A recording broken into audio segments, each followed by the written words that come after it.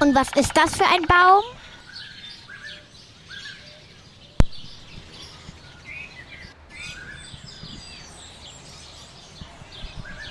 Das ist eine Fichte.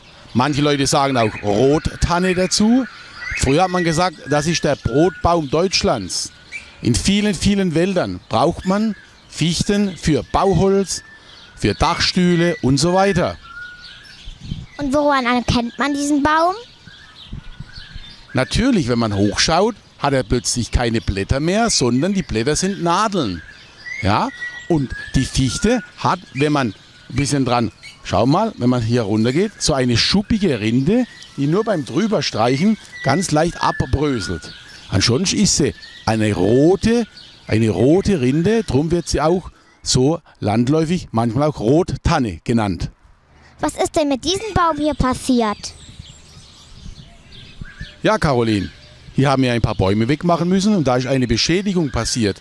Und jetzt haben wir plötzlich Nadelhölzer, die ja Harz produzieren.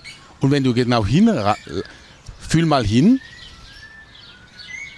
der Baum hat schon mit dem Harz die Wunde verschlossen, damit hier keine Pilze und keine Insekten eindringen können, die dem Baum schädlich werden können.